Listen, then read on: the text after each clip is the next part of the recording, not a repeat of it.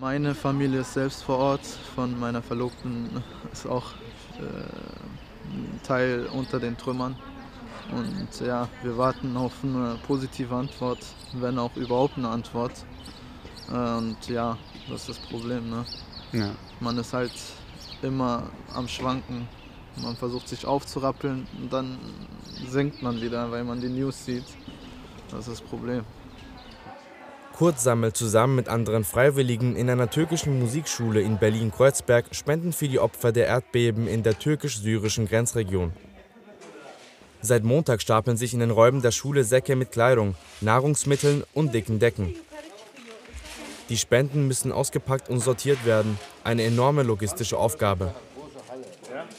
Ja, ab und zu mal äh, chaotisch, weil viele auch äh, irgendwie von zu Hause ähm, unbenötigte Sachen schnell ähm, abgelagert hatten. Und, äh, aber hier ähm, hat man schon ganz äh, klar, schnell äh, und selbst aktiv vieles gemacht.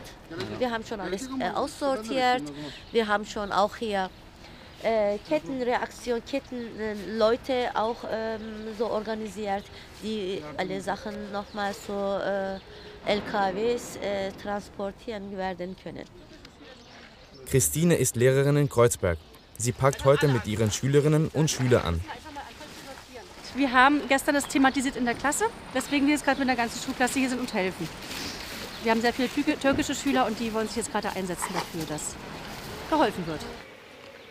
Die Spendenbereitschaft war hier so groß, die Freiwilligen in der Musikschule mussten bereits nach einem Tag die Annahme stoppen.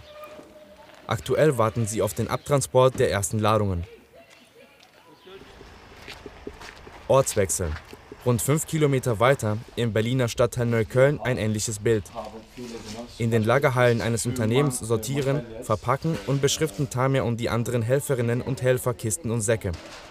Wir haben äh, 15 Paletten gemacht äh, für Flugzeug. Äh, äh, drei Stunden später wird gehen.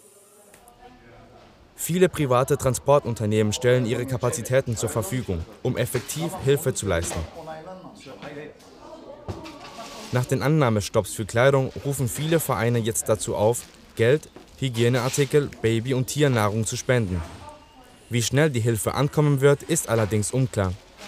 Logistische Herausforderungen in Syrien und der Türkei erschweren die Arbeit.